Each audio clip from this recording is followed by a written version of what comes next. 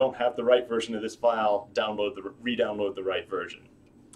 Uh, Laurel asks, "Will you be able to move player houses? We can move anything in the game that we want." Will we move player houses? No. the power. Wanted- right. Yeah. People on Okay. people on the internal te- people on Hatchery are going to you know meet the chaos though. Oh, I guess they heard us all singing now. um, yeah, it's just Can you get the broke build? Actually, it's online. Andrew uploaded the broke the build song. Uh, it's in one of our updates. Like Yeah, two- Mark- three months Mark ago. put it in one of the updates, but we'll uh, We can link it again. yeah. Um, there's there's a selection. I think there's three or four. There's three. There's, Wow. there's the Canada Broken Build one. Um, Lady Gaga. Lady Gaga, Yeah. yeah. what kind of roadblocks do you guys foresee from having the most issues overcoming? Um, kind of still out there is trying to do peer-to-peer patching. Um, that that's a hard problem that we haven't solved yet. I'm not sure we're going to solve that one by launch, but we haven't locked it in. We haven't we haven't done anything to stop us from doing that. Is this your whiskey flask when you're trying to work on something hard? And um, I, I actually normally keep gin in it, but uh, I'm, a. I'm a whiskey person myself. But uh, da, da, da. get alpha access. Do I need more? Um, I would say that uh, no. If you uh, you know if you have a tier that has alpha, you will have alpha access regardless. That that's an easy one. Um, but let's keep it back to the actual asset and content and all that. Um, we have a channel of communication who want to report security issues if you find them and don't want to exploit them. Uh, right now, you you know we are small. You can email support at citystateentertainment.com. Um, you know we, we will. Like I said, it's, there's not that many people here. They get dealt with if we hear them. Now, can you tell a little more about the server physics stuff? Watch the engineering presentation tomorrow. That's an awesome one. Seriously. Um, My favorite whiskey, uh, I would say Blanton's is my favorite. mine's Knob Creek. not it. Why would I put that in the code? um,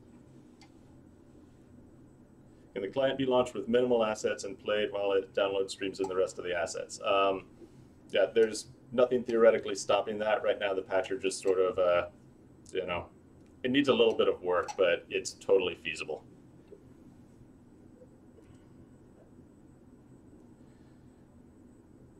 Uh, who says you know more, Mark or Andrew? Probably Mark. Maybe, maybe. so the question on the will the internal will access the internal testing server hatchling be available for founders with current access at later game stages of a beta release? Uh, we'll be doing be a little bit more stable build for uh, alpha stuff, and uh, you'll be able to see it on the Twitch channel. The, the uh, idea of the idea of Wyrmling is, you know, once we get it to a stable point, then we will roll that and kind of have like, all right, checkpoints along the way. Like in any given day, you know, there's going to be new stuff and there's and there's going to be new bugs in that. And once we get most of those nailed down and say, oh, it's not crashing, then roll to Wyrmling, and again and again until we ship the game. Um, how much of the system was built in house? Uh, patcher wise, pretty much All of it, 100%. Um, you know, uh, Dave did most of the back end work. Uh, JB's done a lot of, on you know getting data from our build farm to you guys. Uh, JB did most of the work on actually getting assets built. Um, I, you know, it was my vision, man. Andrew's vision, we we we built it. Yep. um,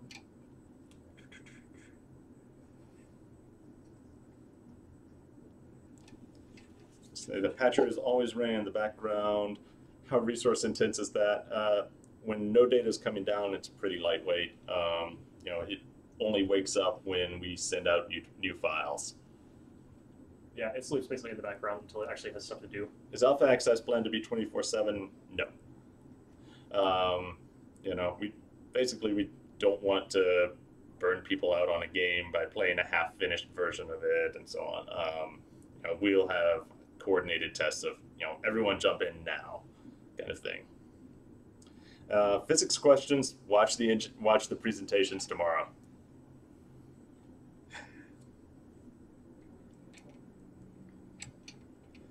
Let's see. Um, what No, our patcher does not patch Andrew.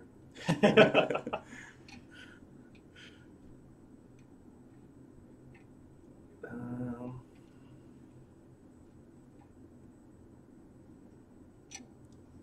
has the, been the most hilarious thing you've dropped into the game in testing so far? The duck. Tyler just like will spawn giant ducks with you know various textures. Sometimes again, God complex. To test things, I sometimes throw the duck texture on other random objects. Like yesterday, if people were on the IT client, they may have seen a tree that was completely covered in rubber ducks.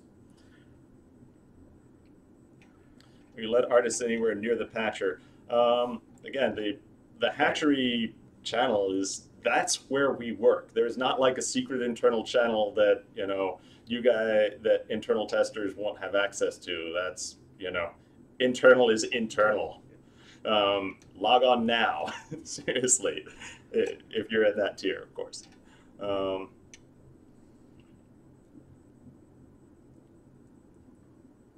how do you start building such a huge project? Uh, uh, certain irrational exuberance, I guess.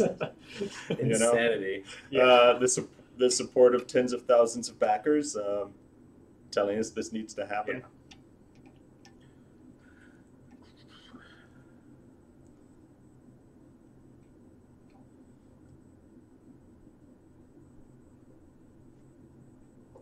Our next big thing to do for us at this point is make a game.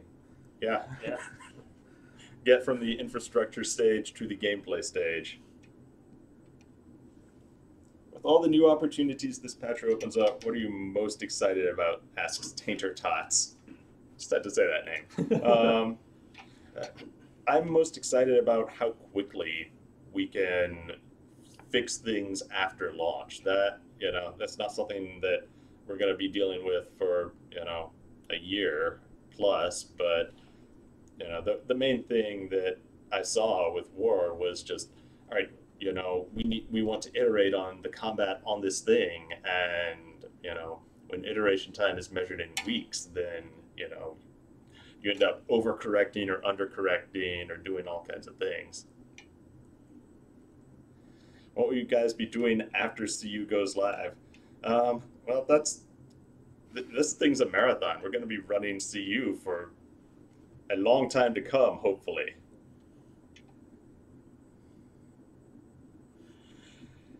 How fast can the client receive splines from the patcher, and are they pre-reticulated? Thank you. Yeah, thank you. Um, I, I actually like splines a lot, and no, they are not pre-reticulated because uh, they're much more compact before you ret- reticulate them. So we like to minimize our data size.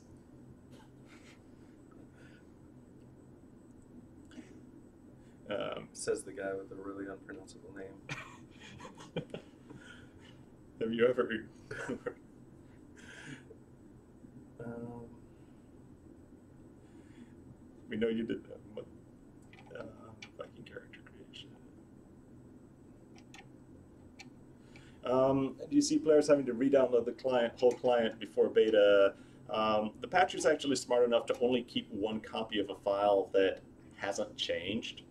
You know, so um, you know when we do a push from hatchery to Wyrmling, there's not actually, you know, if you are subscribed to both of those channels in the patcher, then you won't see a new download because you will have already downloaded the files. Right. Any file crossover is just taken care of automatically.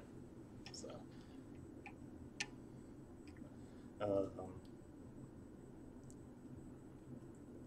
yeah, again, lots of lots of good questions about gameplay and uh, game server architecture, and those are for another time. But I understand like they're really important to you guys.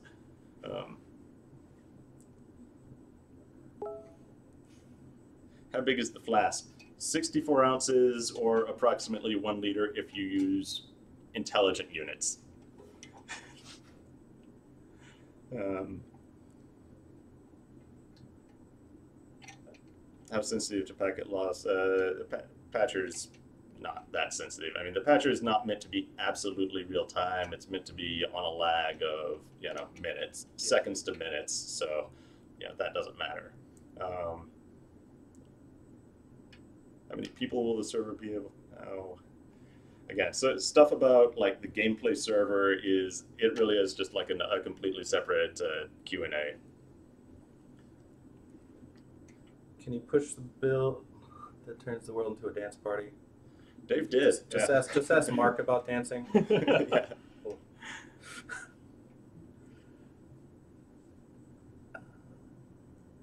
Um, do you patch live installation files? Of course.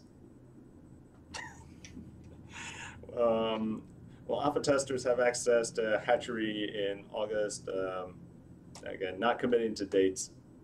Uh, that is a discussion for. I mean, that we are kind of staging out things. Hatchery is our IT server, though. I think the question was, do alpha testers get Hatchery? Um, I imagine response time. Blah, blah.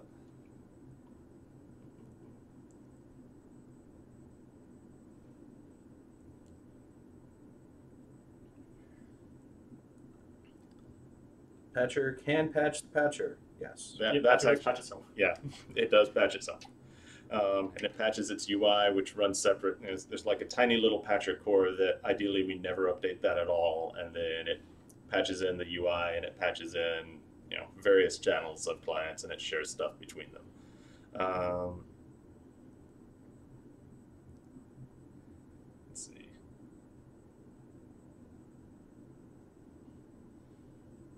Yeah, the, the whole does the art team uh, all the others have access to, to changes and things the game with this new software. Yeah, that's this is how we work. Uh, the really, you know, the two exciting things for us are how quickly we can iterate internally, and uh, also just how, um, you know, the fact that we are opening it up to everyone with internal test access, and you know, at least planning to put a little window into the real into it for everyone else. Do you want to answer Deadpool 2's question or no? Um, uh, if the patcher only scans files when changes are pushed, how do you keep people from modifying files while the client is running? Um, you're wrong. It doesn't only scan files when changes are pushed. So yeah, no, we've you know, if you have thought, if you can think of an exploit in the 20 minutes since uh, you saw this, trust me, we've thought about it in the last uh, you know year and a half. Um, will the Wyrmling server be open 24 7? Uh, no, the plan is to not have that open 24 7. Um, you know, that's only for like, you know, for, okay, now we need to schedule a whole bunch of people for a test that will be at an announced time. Like, you know, if, if, if it's open all the time, then no one's going to be when we need. online when we need it is kind of the thinking. Like we, we want to pull all the enthusi- all the enthusiasm and all the people into places where we can actually load test with lots of people.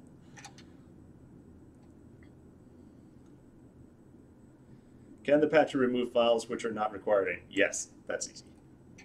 Um, is it a possibility in the future to add in player-made assets or content? Um, yeah, that's uh, that that's not. In theory, it would be possible, but possible, in practice, we're um, going to. yeah, in, in practice, we're probably not going to let people paint textures. Um, yeah, there are so many problems that can go wrong with that. If all of you were perfect angels who only meant the best, and Will I be able to copy the game files from my buddy to save on download caps and time? Yes, you can copy all the files that were downloaded. Um, it's up to date, and then it will remember that. And You'd have to download, or you'd have to copy the potato files, and the, we have pack files. You'd have to copy. there's a just they would- specific files yes, you'd have to copy, but It would yes. be do. um, being able to patch on the fly. Uh, let's see.